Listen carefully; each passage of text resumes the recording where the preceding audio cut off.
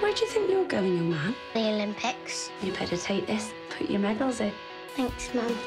In the film, you watch a young man grow up who is desperately passionate and excited by getting to the Olympics. Britain hasn't had a ski jumper since 1929. I'm going to be a ski jumper. Eddie the Eagle was a legend. He had a go at the most crazy event in sport. He's going to break his neck.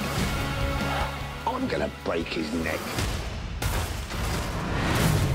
The time to start jumping is when you're five or six. You meet a man named Peary. I heard you were a champion, so I was thinking maybe you could give me a few tips. Give up. There's one for free. It's not actually going to jump, is it?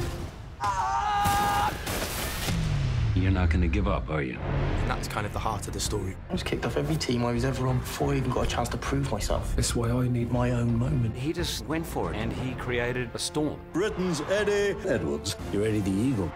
Just fly. And where do you think you're going? The Olympics. I thought you might need this. Eddie's off.